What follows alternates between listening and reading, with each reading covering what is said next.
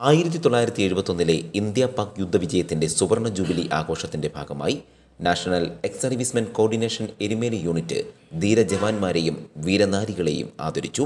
Erumeli saint Thomas സ്കൂളിലെ N C C കേഡറ്റുകൾ വിശിഷ്ട അതിഥികളെ സമ്മേളന നഗറിലേക്ക് സ്വീകരിച്ചു. തുടർന്ന് Erumeli Saint Thomas school N C C കേഡറ്റുകളുടെ passing out parade നടത്തി. Poonjar M L A advocate Sebastian Kulathinkal ഉദ്ഘാടനം ചെയ്തു. എരുമേലി അസംഷൻ ഫെറോന പള്ളി പാരിഷ് ഹാളിൽ നടന്ന ചടങ്ങിൽ യൂണിറ്റ് പ്രസിഡന്റും ദക്ഷിണ മേഖലാ സെക്രട്ടറിയുമായ ബെന്നി കാരക്കാട്ട് അധ്യക്ഷത വഹിച്ചു. ആയിരത്തി തൊള്ളായിരത്തി എഴുപത്തൊന്നിലെ യുദ്ധത്തിൽ വീരമൃത്യു വരിച്ച ഹവിൽദാർ ജാനി സേട്ടിന്റെ പത്നി Zainaba ബിവിയെ N C C Kerala sixteen battalion commander colonel Sunil Khatri ആദരിച്ചു. യുദ്ധത്തിൽ പങ്കെടുത്ത എരുമേലി മേഖലയിലുള്ള ഇരുപത്തിയൊന്നോളം ധീരജവാന്മാർക്ക് ആദരവ് നൽകി.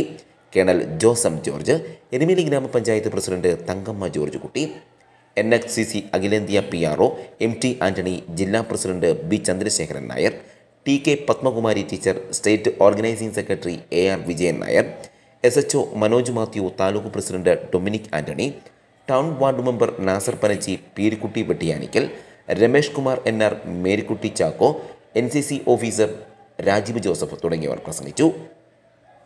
News bureau Erumeli.